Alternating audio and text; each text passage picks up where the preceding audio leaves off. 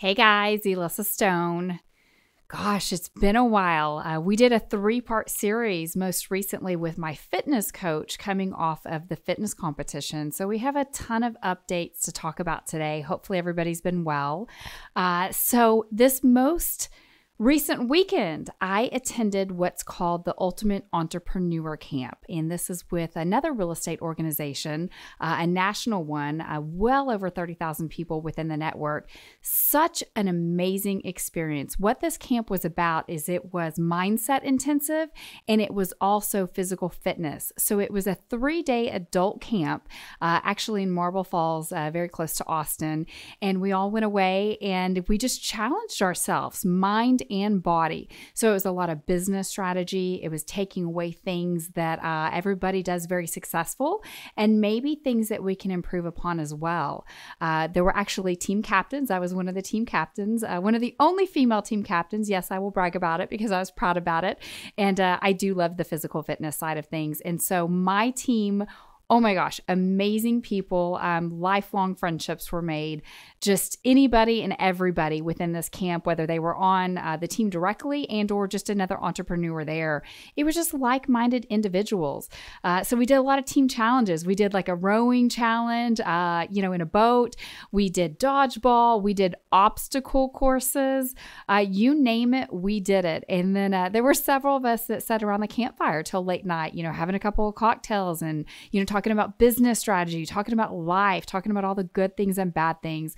I just walked away. I mean, I think everybody walked away. I can't speak for everybody, but I think everybody walked away just feeling on top of the world and taking things away from this camp. Uh, the biggest thing that I took away um, that I was excited about as far as a new book to read, it's called a book called Gap or Gain by Dan Sullivan. And uh, of course, I just dug into it as soon as I got back. And the whole premise of the book is talking about are you living in the gap?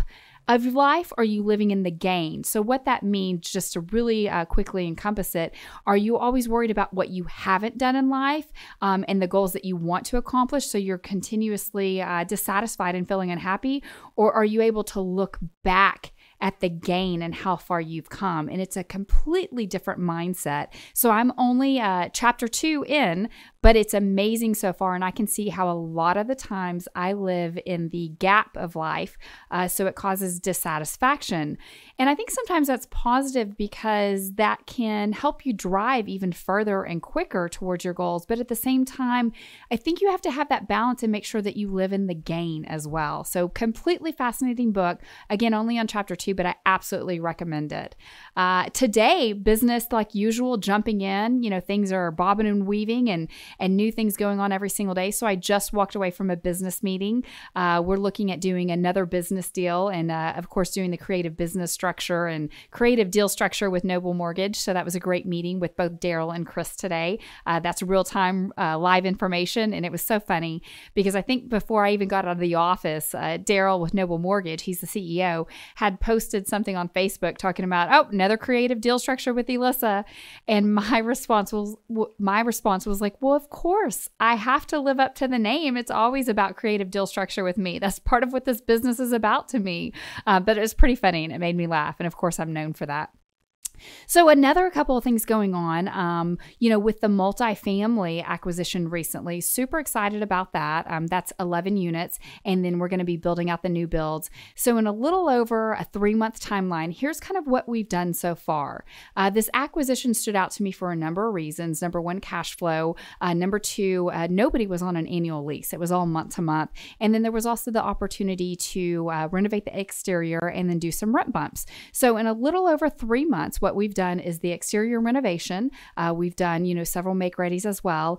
And we have been able to get all uh, 10 units on annual leases. And we were able to uh, bump the rents that match the, you know, exterior renovation accordingly. So, what that translates to as far as numbers is we've increased the overall rent uh, by about 655 per month. And what that translates to when you actually work the numbers through and break it down is that we've increased the value valuation of the property by $11,909 price per door. So pretty amazing. So now what we're going to do is start moving into the refi portion where we wrap in those new builds. And the new builds anywhere from 8 to 12. Um hopefully the 12 would be better, but um you know we have to work through some of those details. And so we're starting that process uh, today actually. Uh, and then you know it will take some time to kind of you know work through all the paperwork and all of that good stuff and then transition, get the rates down a little bit and then rope in the funds for the new build. So that's an update on that. Um, I'm heavy, heavy in acquisition mode right now. Um, so for anybody in the real estate realm listening to this, I'm looking for off market deals, kind of those pocket listings. Uh, I've made several calls, had several meetings uh, recently uh, with both people who are wholesaling on the multifamily side as well as brokers. So any hot deals, send them my way. Of course, um, you're going to get a little something from it. Of course, that's the way it should be. Uh, but I just wanted to put that out there because it's about networking. And I'll tell you why. A funny thing. I talked to an individual yesterday and we were talking about a, a completely separate subject matter. And then I just casually said, Hey, listen, I'm in the market. I'm heavy and hot for, you know, off market uh, properties on the multifamily side. If you hear of anything or if you know of anybody, definitely keep me in mind. And ironically enough, this individual that I was speaking with, uh, I didn't even know he was active on the multifamily side. And he said, well, as a matter of fact, like I have, you know, kernel knowledge of a property coming up. I, I can't even remember the unit count. Um, maybe it was like 50 something. Who knows? I don't know. I was just completely shocked that my one sentence opened up this conversation uh, to a potential partnership and a potential deal that is not even live yet. And so that's the power of networking. And even when you're talking to somebody that you think it might be a waste of your time or there's no point in putting something out there, comment on a sentence or two. You never know where it's going to go. I was completely dumbfounded and shocked. And I remember even before I said that sentence on the phone call, is there a reason for me to say this? Like, I, I don't even think this individual dabbles on this side. Guess what? I was shocked. That's the power of networking. And so since then, every single person that I've talked to, I've mentioned the exact same thing. And it's funny the doors that open uh, when you start putting things out there. So I encourage each of you to do that, whether it be in business, whether it be personal, whether it be about your goals. Very, very um, interesting whenever you just kind of open up and you start networking and put, putting things out there. So, an update. Um, there's been a video series through Noble Mortgage because they funded uh, this this particular project. It is the million dollar uh, flip. So, I'm super excited about it. We're on the tail end. We're going to be filming the uh, last segment next week. It is under contract. It is set to close on December 6th. So, uh, we will see. Um, we're out of option period, which that's a wonderful thing. Uh, we are waiting on the appraisal, uh, but fingers crossed things will go well and we will get to the closing table. I'm excited um, for the person buying this house, uh, partly because I actually got to meet them. It was completely unexpected. Uh, but, you know, it's just like when you put so much heart and soul into the projects you do and you get to meet the person that's going to be moving in, to me, that's a really neat thing. Uh, so I'll tell you about it.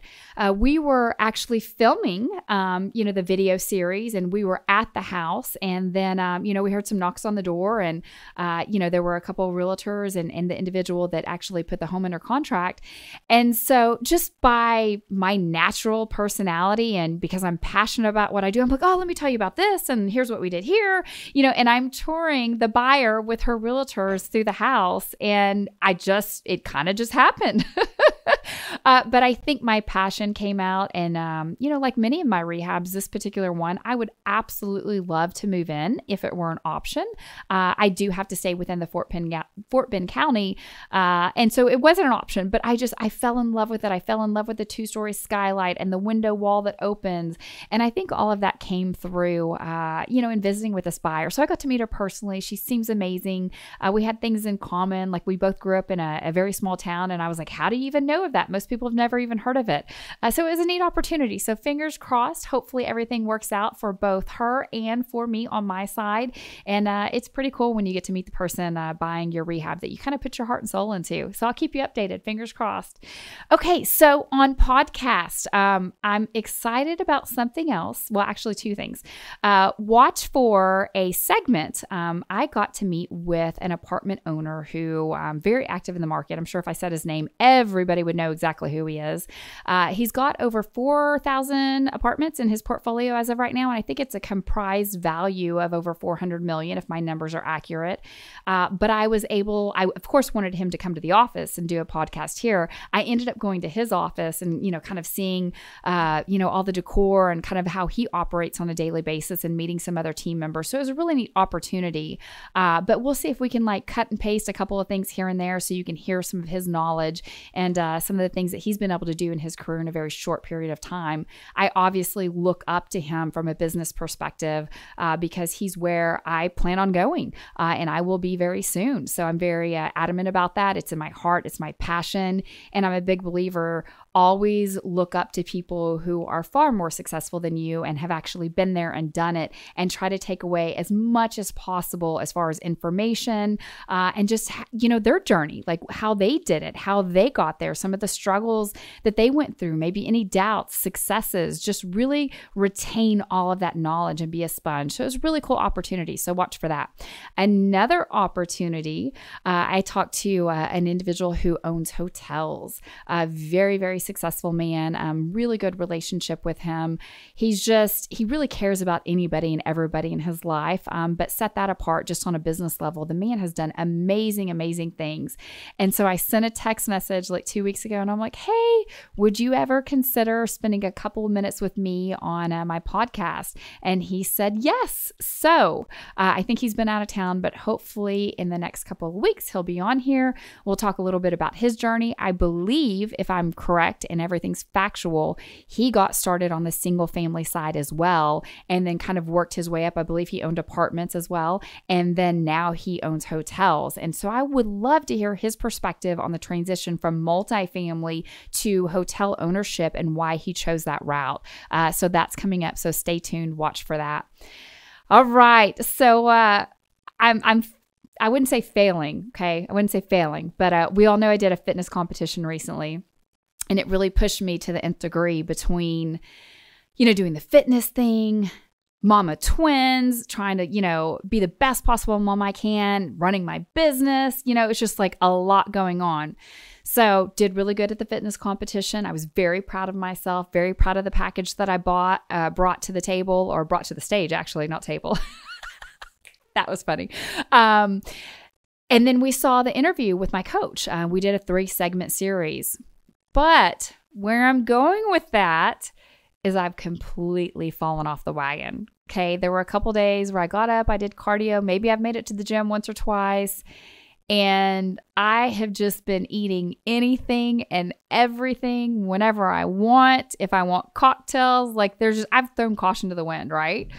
And I'm like, oh, what am I doing? I work so hard. Uh, like, for example, this past weekend at the Ultimate Entrepreneur Camp, granted, we just finished probably several hours of obstacle courses. And um, you probably can't tell because I'm sitting down, but I can barely move. My entire body is so sore. Like, I have muscles sore on me that I never thought that I even I pushed myself so hard.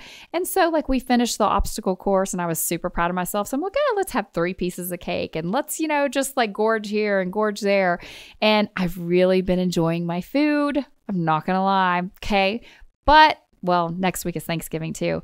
I got to get back on my game. No, I don't have to be in competition shape and eat like I'm about to compete, but I would like to hold myself accountable. And you know during the week eat pretty clean.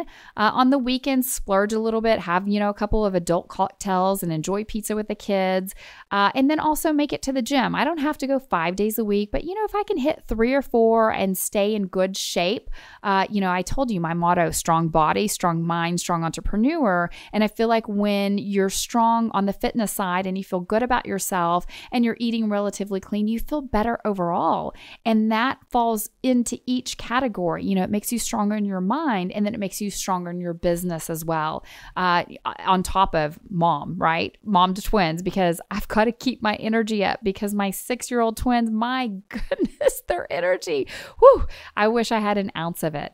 So I'm falling off the wagon on that. And I'm going to make a commitment here and today. I'm going to get it together right after Thanksgiving because I'm totally going to enjoy Thanksgiving. I'm going to eat pumpkin pie. I'm going to have stuffing, mashed potatoes, um, wine, you name it. Yes, I'm totally going to enjoy Thanksgiving. I love Thanksgiving.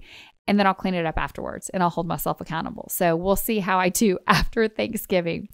And then the last thing that I was going to mention, I always like to give an update on uh, my kiddos, my six year old twins, Gavin and Layla.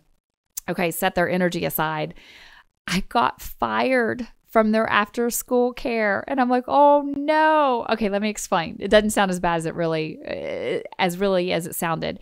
So I'm in a co parenting situation, and my kids were attending after school care for two weeks out of the month. So I'd pay for the two weeks. And everything's great, you know, so that enabled me to work and, you know, kind of pick them up after the workday. Well, then I get a call and they're like, hey, Lissa, the kids are great. They're having fun. We love having them but either you need to pay for four full weeks, even though they're here too, or we kind of have to stop this arrangement. And I was like, you know, I go into survival mode. I'm like, oh my gosh, how am I supposed to work? You know, my kids and, you know, they need to be taken care of and a working mom. And so I get it from a business perspective. What they're wanting to do is they have two other kids uh, that are on the waiting list that would be attending four weeks out of the month. So, from a business perspective, that's revenue to them. Uh, that opens up a space on the bus from, you know, picking them up from school actually two spaces. It picks up two spaces on the bus from picking them up from school, getting them to the after school care. And then for this particular after school care, they get four weeks of pay versus two. So I get it from a business perspective, I get it from a revenue perspective. But I literally got fired. And I looked at the budget and I looked at everything and I'm like, hey, do I really want to pay for four weeks when they're only there for two? Uh, so I'm on the hunt. I'm figuring out what it is I should do to make this happen. And so I've had some a couple of amazing days. You know, I'm dropping the kiddos off first thing in the morning. Uh, we're up early, and then um, you know, come two o'clock, I'm in line waiting to pick them up, and that's probably about a I don't know 35 minute tour by the time you sit through all the cars, pick them up. But I will tell you, since this happened, it's unfortunate. I'm going to have to find other care. But since it's happened, like I've got to spend a couple of really cool days with the kids. Um, we went grocery shopping together. Um, you know, like we were playing at the house. We did some extra cuddle time. So it's been a little bit of a blessing in disguise because I just I got to spend some extra hours with them. I wish kind of from the bottom of my heart I could do that with them every single day. Uh, unfortunately, that's not an option. Um, I am a mom, I am the sole income producer, and I have to make sure that I'm putting in a good day's work uh, to make things happen and provide for my family. But uh, I will cherish these couple of days, and then you go into action mode, right? Something happens, you figure it out, you got to find a solution. Uh, I think I have one. We shall see. I've been making calls like crazy, uh, you know, putting the word out there, networking, and uh, we'll see how it goes on the next podcast. Hopefully, everything is going well with all of you out there. Um, moving along, trucking along, staying positive. Had a couple of bad days, but then I get back up and uh, I'm excited for what the future holds. So I will catch you on the next episode. See you soon, guys. Bye.